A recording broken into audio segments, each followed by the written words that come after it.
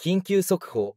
安倍監督の頭を悩ます保守問題。保守豊作の FA 市場で巨人が狙うのは誰だ。開拓屋の移籍の可能性。広沢克美が語る驚愕の分析。岸田。大城。小林の運命はどうなる。ついに巨人の正保守問題が解決するだろう。この予感に心を躍らせる巨人ファンもかなりの数に達しているに違いない。岸田行林27の活躍が続き。7月に入ってからスポーツ紙や有刊誌で見出しを飾る回数が増加している。果たして岸田は安倍晋之助監督、45からの完全な信頼を獲得したのだろうか。巨人は7月5日にヤクルトと対戦し、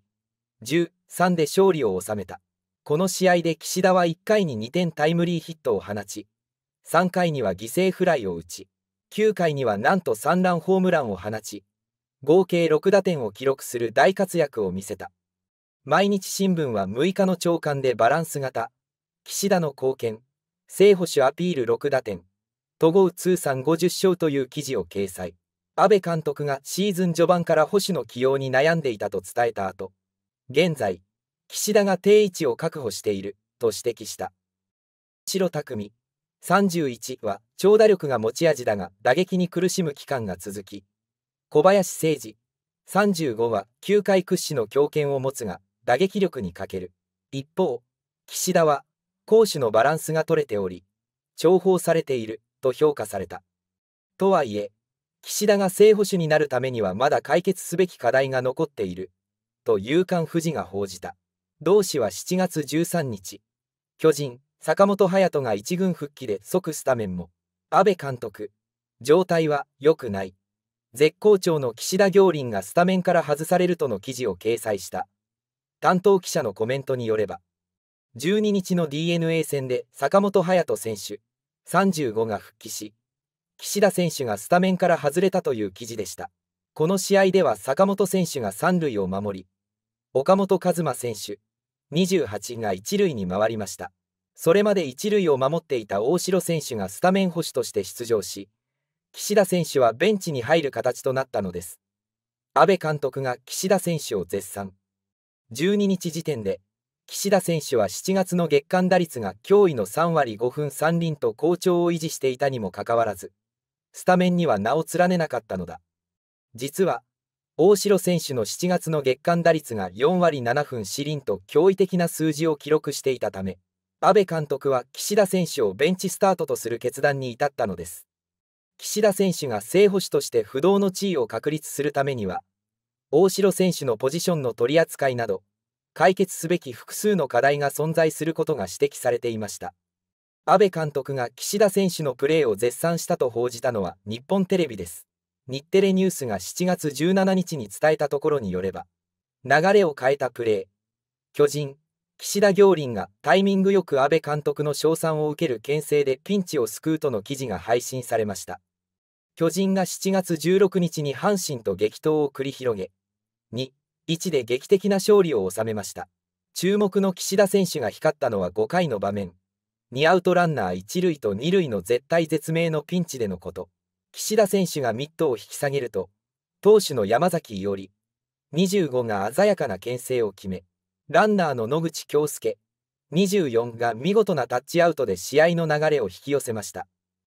試合後、岸田選手は取材に対し、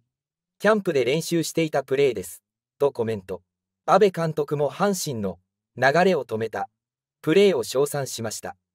日テレは、大城匠選手に代わって先発マスクを任されることが増えた岸田選手と紹介し、さらに岸田選手の試合に出ることで得られる経験は違います。無駄にしないように引き出しを増やし、次に活かせるよう心がけています。という意欲的な発言を伝えました。まだまだ、どんぐりの背比べ、保守としてのスタメン出場回数を見てみると、7月25日現在、岸田選手が圧倒的な域で45試合を記録、2位の小林選手が26試合、そして大城選手は18試合にとどまっています。岸田選手が実質的な正捕手として君臨し、控え捕手が小林選手、大城選手の外野手転向が現実味を帯びてきたそんな状況が浮かび上がってきます。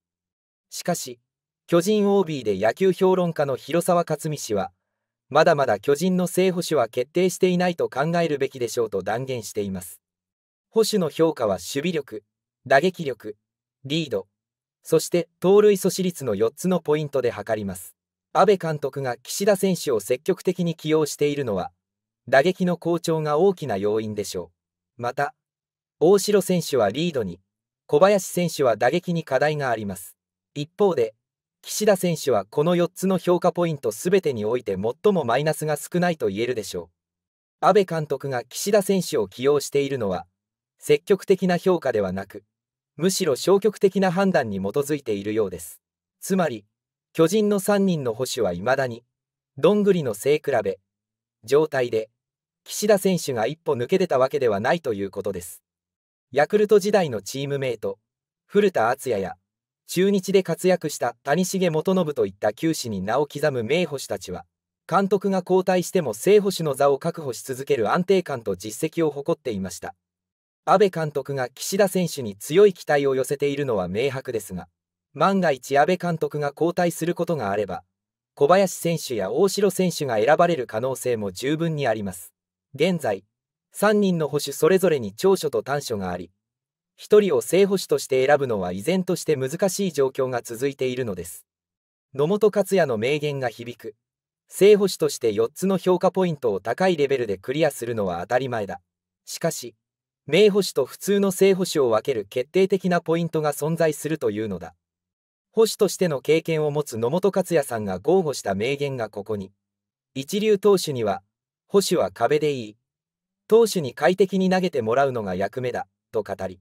三流ピッチャーをリードし、勝利へ導くことこそが真の名捕手、と断言しました。名捕手になるためには、